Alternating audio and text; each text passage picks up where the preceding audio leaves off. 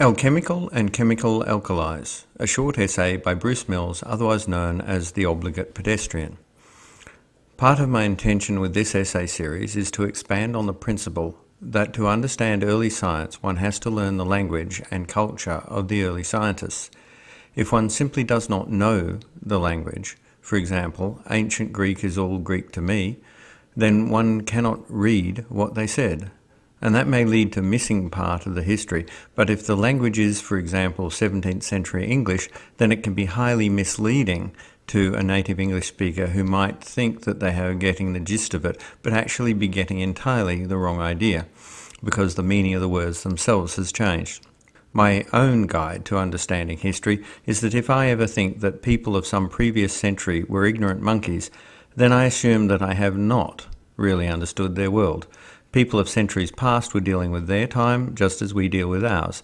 They were not, on the whole, any more stupid than we are, and our education fails to explain their world almost as much as theirs failed to explain ours. Indeed, if there is a change in intelligence over the centuries, it seems that intelligence is going down.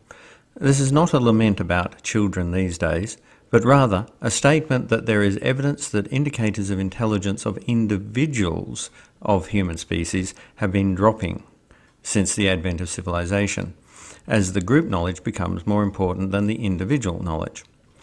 This is something that bothers me, but it makes perfect sense from an evolutionary perspective.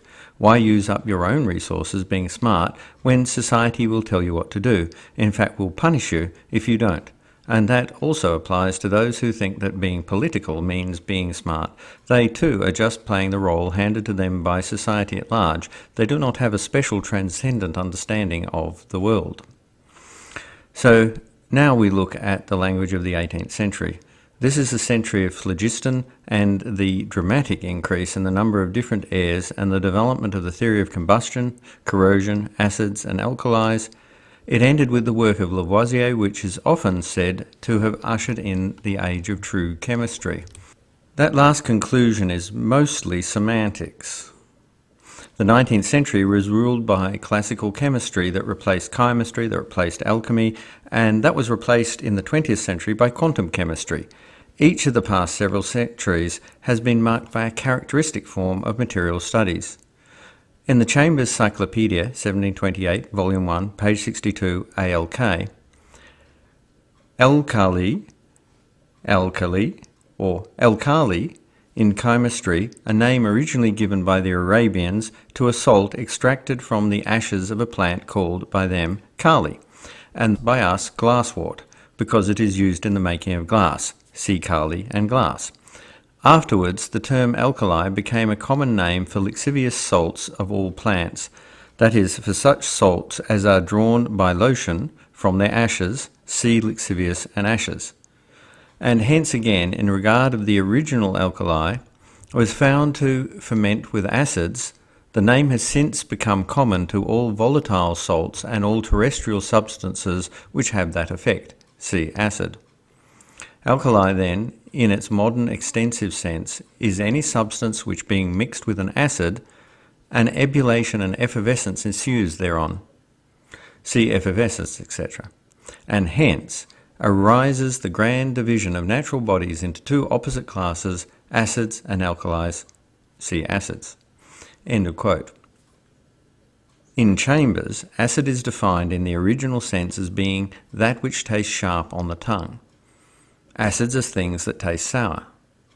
This refers the idea to the human senses, which are always the ultimate source of information in science. By the 20th century, smell, taste, touch, and hearing had become rather less common, and only vision is typically used in the 21st century to identify chemicals. One does not usually hear, in chemistry, wait until the solution stinks. The eyes are both the most detailed sense organs and also the ones that allow the chemist to be the most aloof from the work. A smell might kill, a colour usually would not, though perhaps one needs to make an exception for the colour from space by Lovecraft or Octarine by Pratchett. The traditional alchemist and the chemist into the 19th century was much more involved viscerally in the reaction, even to the point of being killed by the chemicals as part of their vocation. Common 21st century direct vision methods include noting when a solution becomes turbid or changes colour or takes on a specific colour. Some say that other tests were less precise, but I personally find that it is difficult to check a pool chlorine colour chart by eye against the solution formed from the pool water, so I smell it instead. That, for me, is more precise and direct. The greater visceral involvement, however, continues in the practice of cooking, at least of non-industrial cooking. Wait until the cake is golden brown is common, but so too is wait until a baked cinnamon smell fills the room. Does the cake feel soft to the touch? Or even that modern haram of chemical laboratory, taste the food to see if it is right. Industrial cooking, however, is more like chemistry.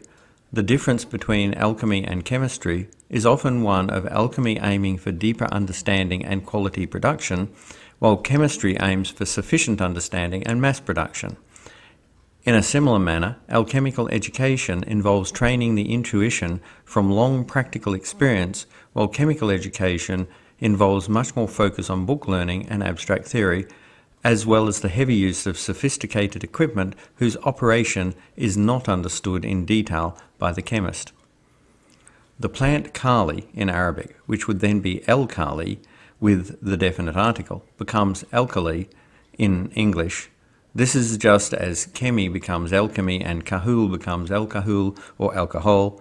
It is curious that the L was dropped from alchemy while it was not dropped from alkali and alcohol the linguistics justification is just as valid or invalid for each. In modern English, alkali, the plant, is known as glasswort as mentioned in Chambers. It refers to a genus of succulent halophytic plants in the family Amaranthaceae. It loves salt marshes, hence it is termed halophytic, meaning salt plant. Halo, as in halite, as in table salt as a mineral. Phyte, meaning plant of a certain kind. Epiphyte is a plant that grows on other plants, where epi means over, above, or upon, as in the word epiphenomenal. Other such words are microphyte, sporophyte, etc. The more formal name for glasswort is salicornia.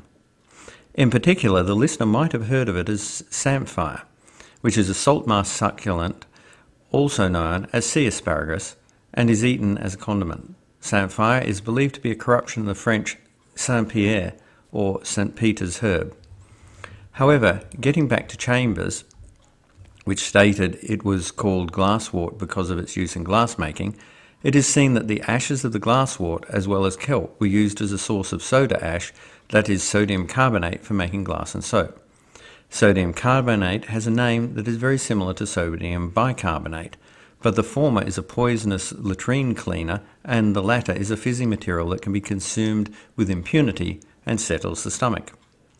I mention this here because one of the core arguments of Lavoisier as to why he pushed his new chemical names rather than the established chemical terminology was that, for example, butter of antimony is a poison, but butter of milk is not.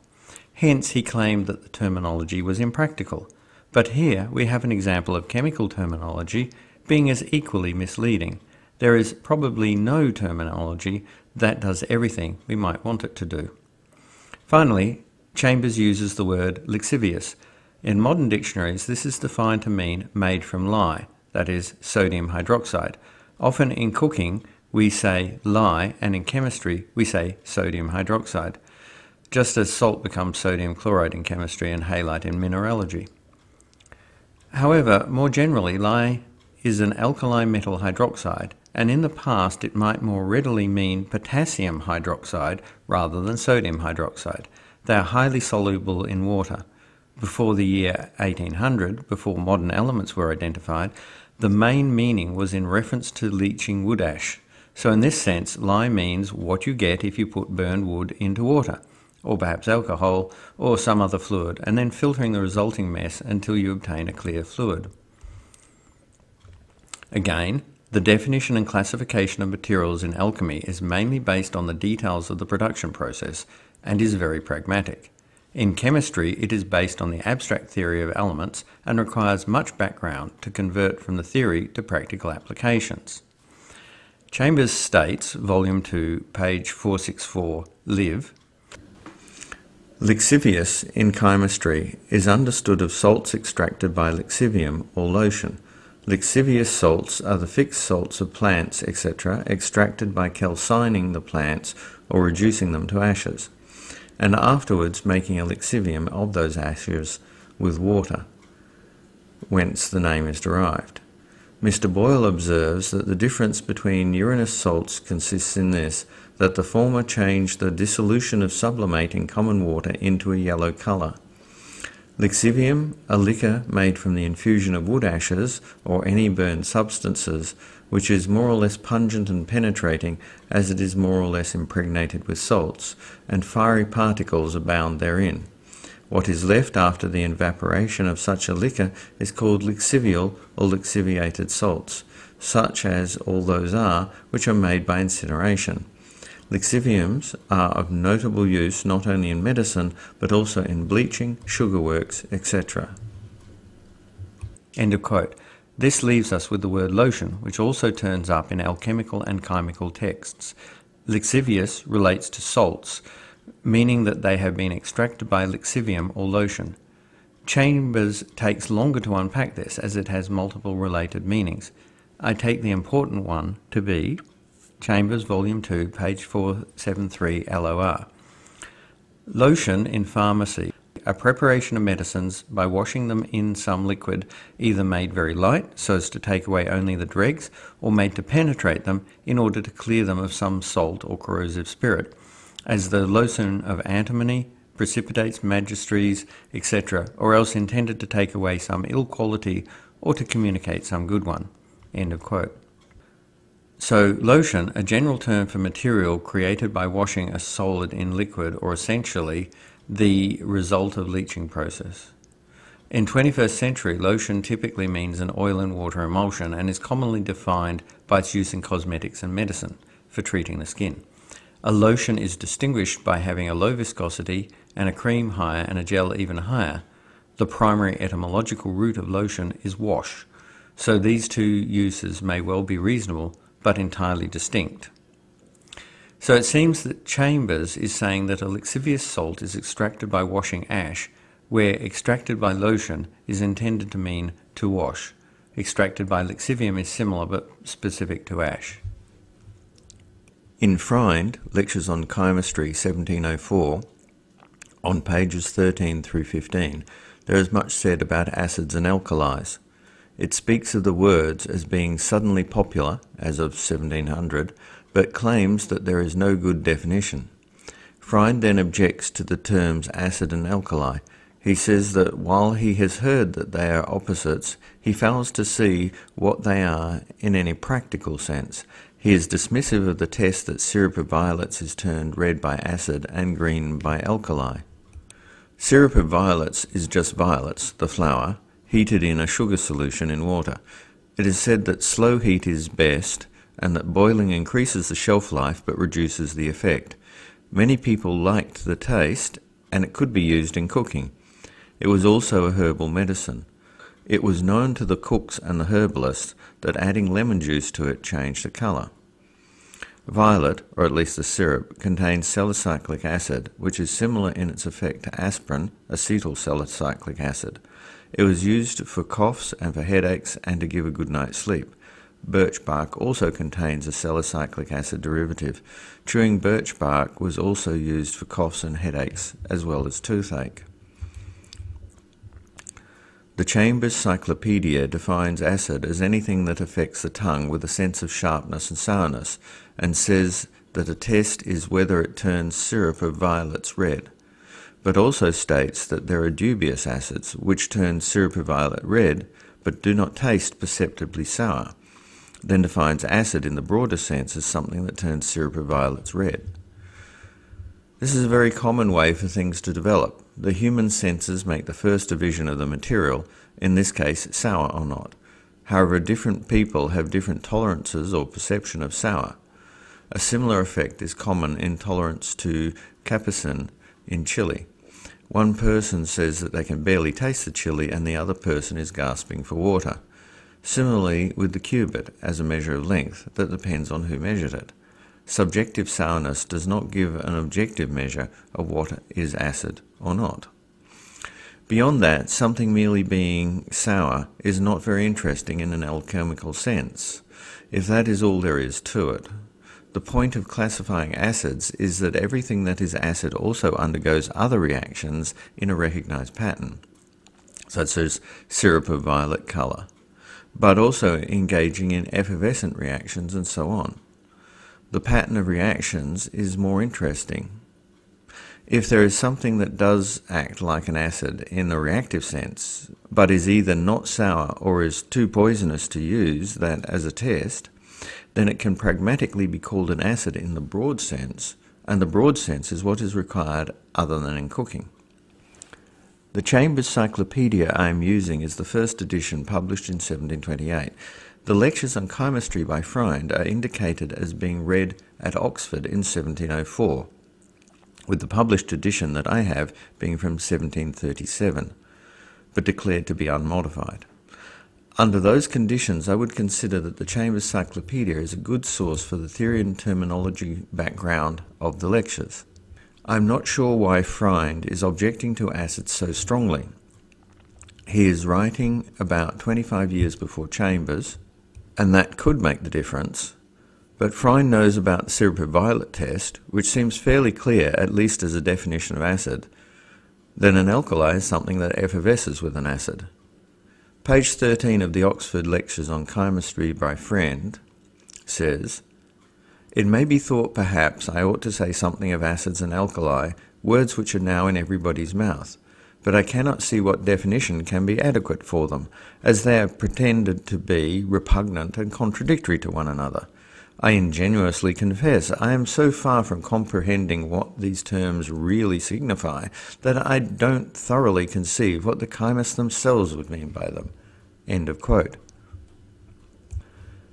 Gets so upset in the following pages about how absurd the notion of acids and alkalis are that, well, one might wonder precisely what he's really railing against. There must be more to it. The Chambers Cyclopedia, about 25 years later, has no issue with the idea. It seems quite clear and objective.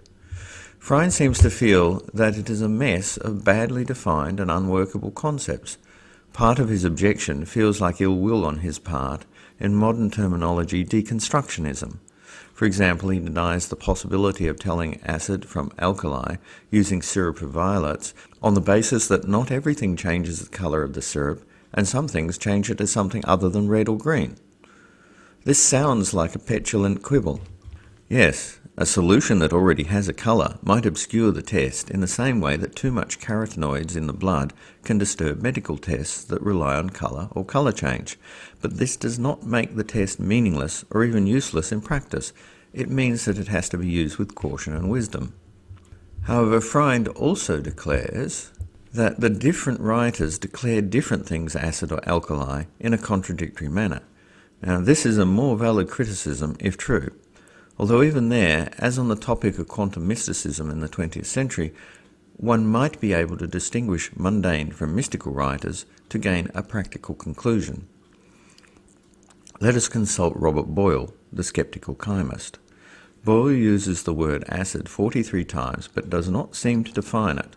Hopefully, he honestly felt that people would be familiar with the word, but given the reaction of Freund, this feels less than justified. Indeed, as I read it, there is some justification for the idea that Boyle is confused on the issue, just not negative about it. In general, I have found Boyle to be less precise than some of the other writers, especially those several decades later. There seems to have been a rapid increase in explicit precision of chemical writing at the end of the 17th century. Page 48 of The Skeptical Chemist. Common tartar, without the addition of anything that is not perfectly a mineral except saltpetre, may, by one distillation in an earthen retort, be made to afford good store of real salt, readily dissoluble in water, which I found to be neither acid nor of the smell of tartar, and to be almost as volatile as spirit of wine itself, and to be indeed of so differing a nature from all that is wont to be separated by fire from tartar, and divers learned men with whom I discoursed of it could hardly be brought to believe that so fugitive a salt could be afforded by tartar. End of quote. To make some sense of this, one needs to know what tartar is. In particular, one needs to know what Boyle meant by the term. A quick web search just gets suggestions on how to remove dental calcination. A more focused search of the wine literature obtains wine diamonds, which are crystalline deposits said to be composed of potassium and tartaric acid and called tartarates. And wine diamonds sounds like a public relations exercise. Volume 2, Chambers Cyclopedia, page 180 TAR.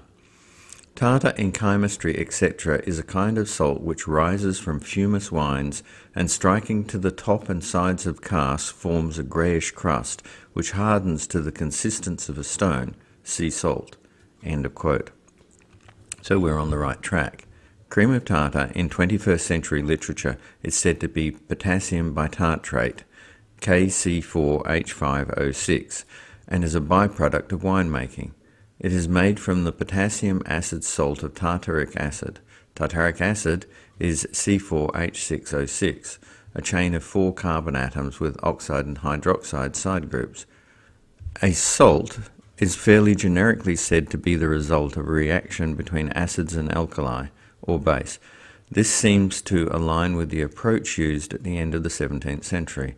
Acid salts are salts that produce an acid solution when dissolved in water analogously alkali salts.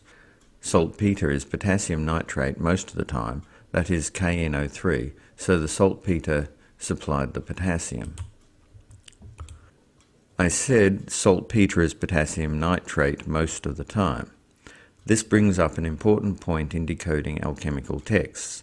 I have often found that declarations in modern chemistry books that an alchemical term has such and such a specific meaning in modern chemical terms to be misleading. At best, that usually means that the term gradually evolved to mean that. Terms for some metals today were originally applied to a hydrated sulfate of that metal, and then the metal, when discovered, was termed a regulus, especially of antimony.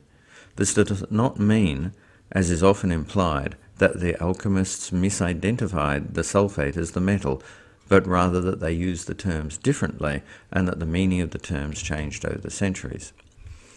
Chambers, Volume 2, page 15, SAL, says Saltpeter, called also nitre, and by the chemists dragon, Cerberus, and salt of hell, a kind of salt either natural or fictitious, of very great use both in chemical preparations, in composition of gunpowder, in dyeing, in glass manufacture, and in making of aqua fortis for dissolution of metals. Its minute parts or crystals are in the form of needles, though some will have them triangular, as those of alum are triangular, and those of common salt cubical. When perfect, they are said to be fistulous or hollow, like capulae. Of natural saltpeter, there are two kinds.